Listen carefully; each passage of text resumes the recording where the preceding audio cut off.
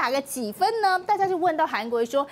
给自己打几分？好，这个部分他没有直接来做回应了。他说谢谢大家。不过呢，看到这个是国民党团的行政总召傅昆萁大赞韩院长第一次主持朝野协商非常的圆满。好，现在呢，他就说不止把过去的传言纷纷扰扰都厘清，而且也定定了二月二十号开议。那么这是历年来最早开议的一次。他觉得韩国瑜协调的非常的圆满，所以要给他打一百分。那么同时，今天也可以看到了，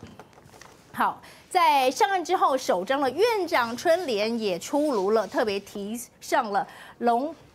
要吉庆四个字来祝福大家，祝贺大家。不过我们也可以看到了，来到这个立法院了，大家都非常关注。哎，韩国瑜说了什么啊？做了什么啊？好，如何来这个调解？那么他就也再次，大家都知道他非常的幽默嘛，所以他就说，当选来很多电话关切哦，像是呢，走路要靠边，要带手帕、卫生纸，好像这个韩国瑜都不是韩国瑜了。那么如果说当了院长过一个月之后，照了镜子，好像老太监一样，好，他认为说这个不是他要的，所以。他告诉大家，韩国瑜还是韩国瑜，特别在脸书上也发文了，说之后呢要跟大家一起来打拼。那么大家也期待哈，后续都能够相互的来合作，迎接挑战啊！我们现在请问季大使，我想这个昨天真的这个韩国瑜主持这个协商处女秀啊，真的是一百分的，这不太容易的，因为啊好几个事情啊都是这个不是那么容易解决的。比如说昨天讲这个，民众党就讲说，哎，这个废票处理有问题啊。他说那柯建明他怎么可以哈做这个做决定？他是主持会议，那个有监票人的，监票人二比一啊，是那东西怎么解决啊？这个立刻就是一个议事规程的一个考验。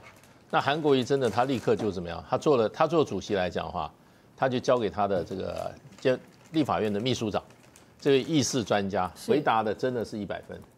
没有做当场裁决，不过他提出一个解决的办法。他说：“你这个啊，可以把这个案子啊提出书面的要求，有关议事记录可以提出要求，然后呢，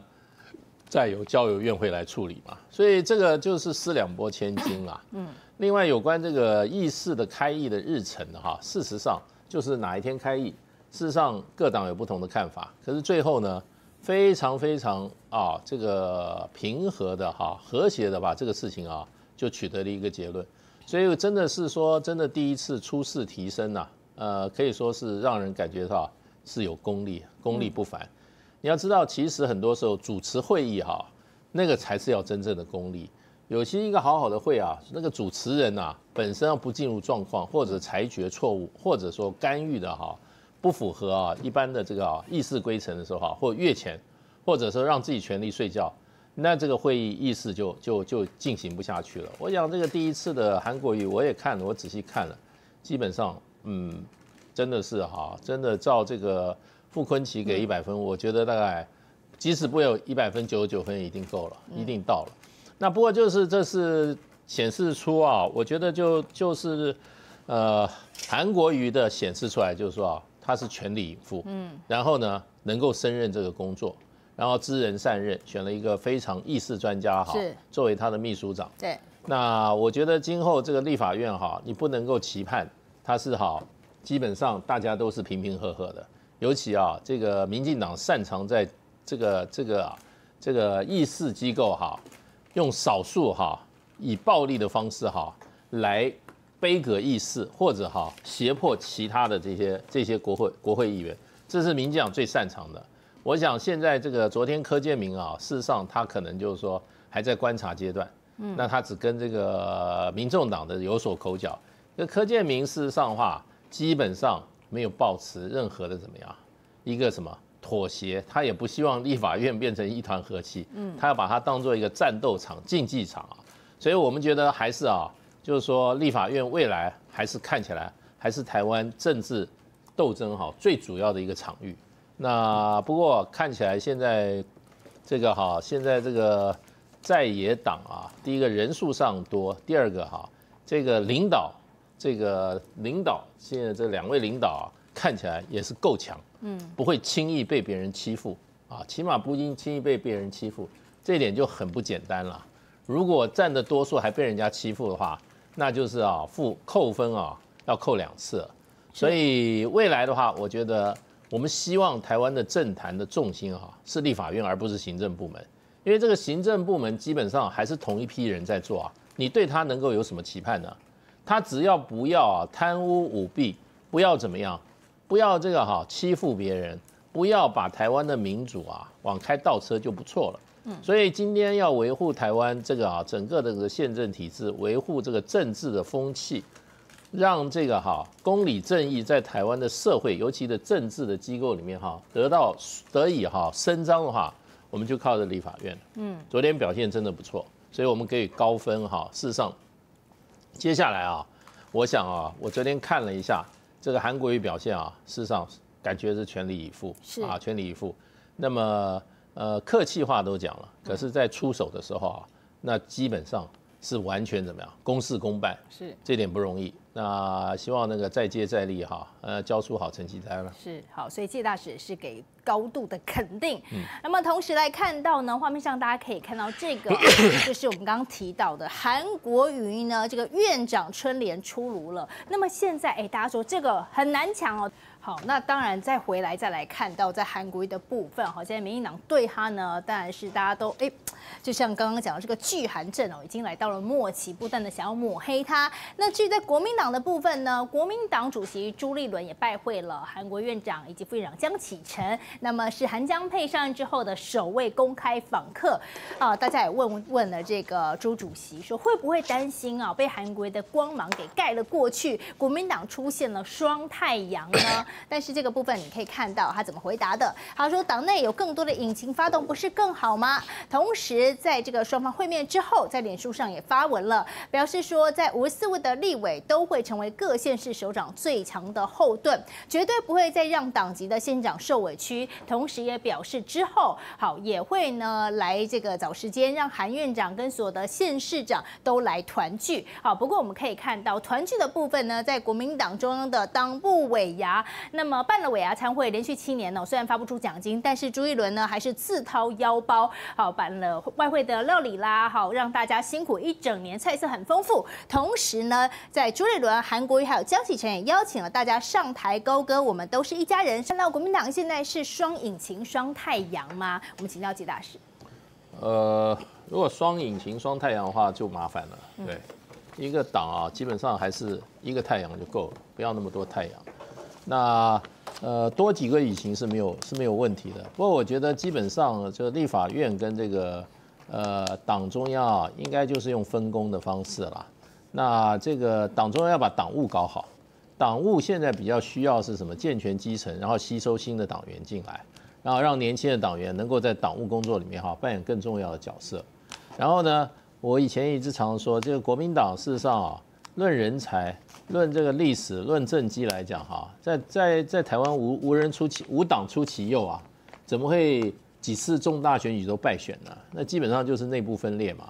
内部分裂的原因就是党内不民主，你的啊程序的和你的哈，你的所有产生这种哈人选的程序正当性不足，所以你你你你用什么征招，你用什么哈什么内部协商，你就是密室密室协调，一弄的话就怎么样，没有人服气，最后搞成怎么样？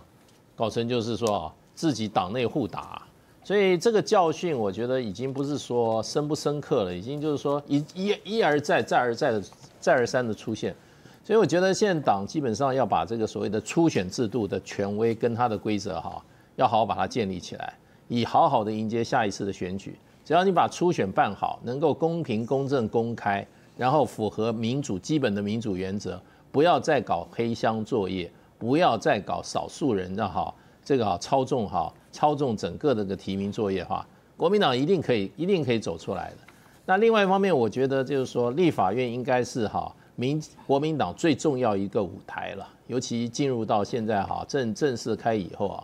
国民党最重要舞台的话，其他所有国民党资源应该都要把这个舞台上哈一起来把它的力量把它集中起来，做一个怎么样？做一个支援者的角色嘛，让这个立法院可以怎么样？呃，在民在国民党的强力的怎样这个哈